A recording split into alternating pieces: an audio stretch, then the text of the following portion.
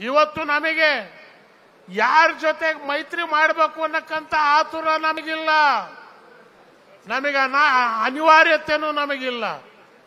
ಆದರೆ ಗೌರವಯುತವಾಗಿ ರಾಜ್ಯದ ದೃಷ್ಟಿಯಿಂದ ಯಾರು ಇವತ್ತಿನ ದಿವಸ ಗೌರವ ಕೊಟ್ಟು ಮುಂದೆ ಬರ್ತಾರೋ ಅವ್ರಿಗೆ ಇವತ್ತಿನ ದಿವಸ ನಾವು ಸ್ವಾಗತ ಮಾಡೋದಕ್ಕೆ ತಯಾರಾಗಿದ್ದೇವೆ.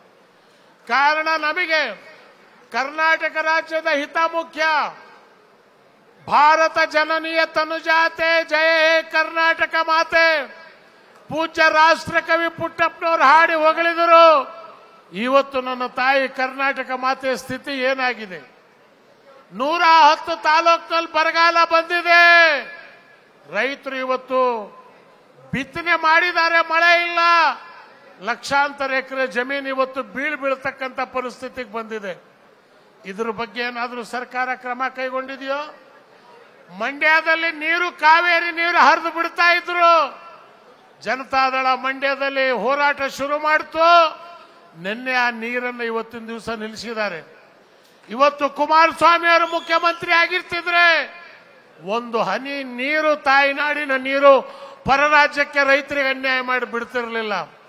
ಇವತ್ತು ಕೃಷ್ಣ ಮೇಲ್ಕಂಡ ಯೋಜನೆ ಯಾವಾಗ ಅದನ್ನು ಎತ್ತರ ಮಾಡಬೇಕು ಅಂದಾಗ ದೇವೇಗೌಡರು ಪ್ರಧಾನಮಂತ್ರಿ ಚಂದ್ರಬಾಬು ನಾಯ್ಡು ಹೇಳಿದ್ರು, ನೀವೇನಾದ್ರೂ ಅದಕ್ಕೆ ಕೈ ಹಾಕಿದ್ರೆ ನಿಮ್ಮ ಪ್ರಧಾನಮಂತ್ರಿ ಬೆಂಬಲನ ವಾಪಸ್ ತಗೋತೀವಿ ಅಂದಾಗ ದೇವೇಗೌಡರು ಒಂದು ಮಾತು ಹೇಳಿದ್ರು, ನನ್ನ ಪ್ರಧಾನಮಂತ್ರಿ ಪಟ್ಟ ಹೋದ್ರೂ ಚಿಂತೆ ಇಲ್ಲ, ಕೃಷ್ಣ ಭಾಗದ ರೈತರಿಗೆ ನಾನು ಕೈ ಬಿಡಕ್ ತಯಾರಾಗಿಲ್ಲ.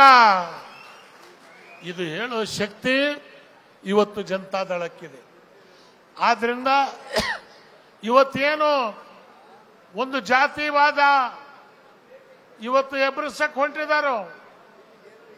Janata Dal B team, C team. Nitish Kumar ಯಾವ ಟೀಮ್ ರೀ? ಎಲ್ಲಿದ್ರು ಅವರು? ಇವತ್ತು ಸಿದ್ದರಾಮಯ್ಯನ ಮಂತ್ರಿಮಂಡಲದಲ್ಲಿ ಕುಮಾರಸ್ವಾಮಿ ಬಸ್ನಲ್ಲಿ ಕುಂದಿರ್ಸ್ಕೊಂಡು ಡ್ರೈವಿಂಗ್ ಮಾಡ್ಕೊಂಡು ಹೋದವ್ರು ಯಾರು? ಅದು ಮರ್ತಿಲ್ವಾ? ನೀವೇನ್ ಮಾಡಿದ್ರು ಮಾಫ್. ನಾವು ಈ ರಾಜ್ಯದ ಗೌರವ ಉಳಿಸೋದಕ್ಕೆ ಇಲ್ಲಿ ನಾವು ಅಧಿಕಾರಕ್ಕಾಗಲ್ಲ. ಅಧಿಕಾರದ ಆಸೆ ನಮಗಿಲ್ಲ. ನಮಗಿರ್ತಕ್ಕಂಥದ್ದು ರಾಜ್ಯದ ಜನರ ಹಿತ ಕಾಪಾಡಬೇಕು ಅಂತ ಹೇಳತಕ್ಕಂಥದ್ದು. ಅದೇ ಮುಖ್ಯವಾಗಿ.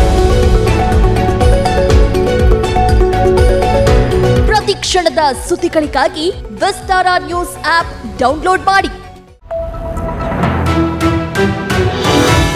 ವಿಸ್ತಾರ ನ್ಯೂಸ್ ನಿಖರ ಜನಪರ.